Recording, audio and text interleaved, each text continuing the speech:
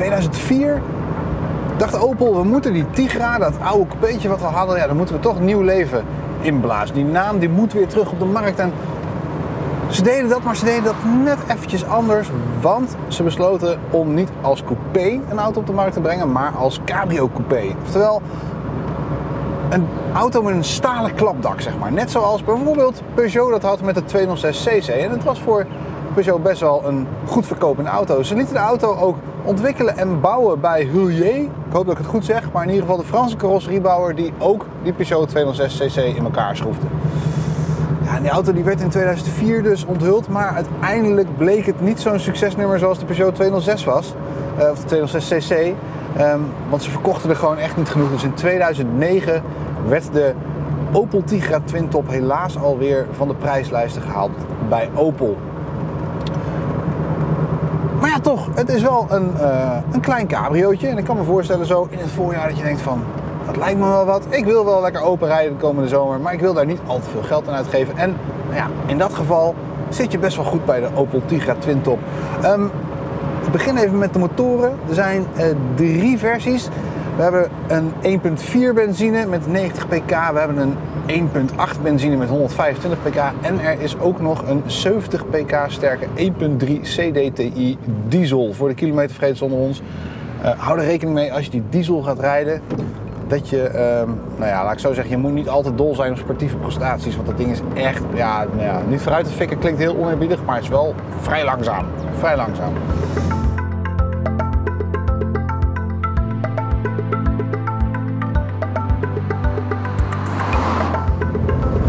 Opties. Het is natuurlijk wel lekker om leer te hebben in een cabriootje. Want stel je parkeert hem buiten open ergens en een vogel denkt van... Uh, wow, kan hier wel. Kan je dat makkelijk afpoetsen. 35% van de Tigra Twin Tops heeft ongeveer leren bekleding. Um, verder heeft 42% cruise control. En een leuk kleurtje vinden is ook niet heel erg lastig. Want maar liefst 48% van de auto's is uitgevoerd in het blauw. Is toch leuk? Lekker vrolijk allemaal. Op Oudscout24 staan op dit moment zo'n 140 Opel Tigra Twin Tops te koop. En daarvan lopen de prijzen uiteen van ja, pak een beetje 4000 euro tot 9000 euro voor de meest frisse exemplaren. En je kan dus echt met een leuk budget al zo'n cabriootje gaan rijden.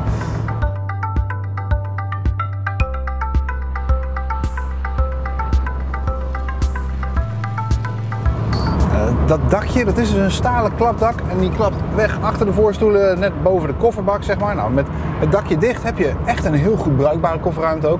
Als je het dakje open doet, dan hou je alsnog best wel wat ruimte over. En uh, er zit eventueel ook nog voor de mensen die op stap willen nog een groot vakje hierachter.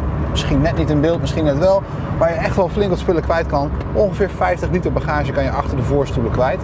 Het dakje dat klapt uh, volledig hydraulisch weg met een druk op de knop. Je moet dan eventjes twee beugels losmaken en vervolgens druk je het knopje in. En dan uh, die zit hier in de deur trouwens, voordat je heel lang gaat zoeken, net zoals ik er straks. Uh, en dan druk je op het knopje en dan gaat het dakje lekker open. En dan kan je lekker toeren met je bolletje in de zon. En dat is natuurlijk ook meteen wel een van de grote pluspunten van deze auto.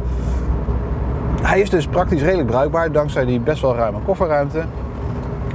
En tegelijkertijd uh, ja, kan je wel lekker open rijden. Dat is natuurlijk gewoon heel erg fijn. Verder zijn de stuureigenschappen best wel oké. Um, je zal eerder wat power tekort komen in de, in het diesel of in de 1.4 benzine. Maar met de 1.8, 125 pk, denk ik dat je echt wel een uh, leuk presterend autootje hebt. En uh, het sturen is gewoon best wel scherp. En oké, hij wordt wel iets softer als je het dakje open doet.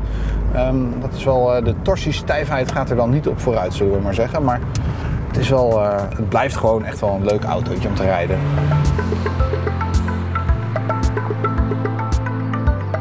De Opel Tigra Twin Top is ja, nauw verwant aan de Opel Corsa C. Uh, dus je zal niet uh, tegen hele gekke hoge onderhoudskosten aanlopen. De dakconstructie op zich is ook redelijk storingsvrij. Wat wel aandacht behoeft is uh, de afsluiting van de raamrubbers als het dakje dicht zit. Het is dan nogal gevoelig voor lekkage, zullen we maar zeggen. Dus met een flinke regenbui dan wil je nog wel eens wat water binnenkrijgen. En dat gaat niet alleen via de raamrubbers. Er is ook een probleem met het afwateringsschot. Daar zit de uh, remcilinder op een gegeven moment ergens aangelijmd. En als die loslaat, dan blokkeert hij iets. Waardoor het water zich kan ophopen en dan via de voetenbak in de, ja, eigenlijk in de voetenbak kan lopen. Zeg maar, vanaf dat afwateringsschot. Waardoor je dus ook eh, ja, natte plekken in het interieur kan krijgen. Dus check vooral even goed in de voetenbakken uh, of er geen watervlekken in het interieur of in de matten zitten. Of dat er water onder de mat te vinden is, dat het vochtig is. want als dat zo is, dan, ja, dan kan het goed zijn dat het afwateringsschot dus verstopt is geraakt. Nou, dan is er nog een ander dingetje en dat heeft te maken met het achterklepje, dat ding moet natuurlijk op twee verschillende manieren open kunnen om het dakje weg te kunnen vouwen. Uh, dus als je hem open wil maken, dan gaat dat ook elektrisch. Alleen, ja, dat is nogal storingsgevoelig dingetje. Er wil nog wel wat water inlekken ook weer. En uh, ja, dat wil wel eens voor problemen zorgen. Dat knopje werkt niet altijd even lekker meer. Dus test even goed of de kofferbak gewoon normaal open gaat. Nou, dan is er nog een aandachtspuntje rond de remmen. Die lijken wat sneller te slijten dan gemiddeld bij een auto in deze klasse. Dus nou ja, hou even in de gaten dat de blokken en de schijven nog goed zijn op het moment dat je hem aanschaft. Piepjes en kraakjes, dat is een beetje iets waar je mee moet leven natuurlijk. Als je dit type auto koopt, zo'n stalen klapdak. Nou ja, je zit met de stijfheid van de carrosserie en zo. Het is niet helemaal wat je ervan zou hopen. Je hebt gewoon wat rammeltjes en dingetjes in zo'n auto. Maar dat hoort er ook een beetje bij, toch? En ik bedoel, als je open zit, dan waait de wind zo hard, dan heb je daar toch helemaal geen last van. Lekker belangrijk. Ja, dan zijn er nog wat dingetjes en dat heeft ook te maken met dat dak. Op zich gaat het dakje niet vaak stuk, maar als het stuk gaat en je hebt er onderdelen voor nodig, dan kan dat nog wel eens een probleem zijn, want die zijn wel eens slecht leverbaar. Eh, dat geldt alleen voor de, zeg maar, de modelspecifieke onderdelen voor de Tigra, want de onderdelen voor een gewone Corsa, zeg maar, die ook hierop zitten, en die zitten er heel veel op, ja, die kan je over het algemeen gewoon goed krijgen dan komen we eigenlijk bij het laatste echt aandachtspunt. En dat is ook wel meteen een hele belangrijke. Um, de 1.4 twin cam motoren, de 1.4 benzines met 90 pk. Die staan niet bekend om uh, ja, hun feilloosheid. Uh, en dat heeft met name te maken bij, of met de nokkenassen. Die willen nog wel eens breken doordat uh, de boutjes bij de nokkenassen los trillen. En ja, daardoor de nokkenas dus ja, uit balans raakt en, en stuk gaat. Wil een auto niet goed starten, loopt hij onregelmatig stationair, dat soort zaken. Um, wees dan super alert op dat gebrek, want het is een dure reparatie en het kan potentieel je hele blok in de soep laten lopen. Rest ons nog de auto te behandelen die we vandaag bij ons hebben. Die hebben we geleend bij Autohuis Landenweert in Apeldoorn.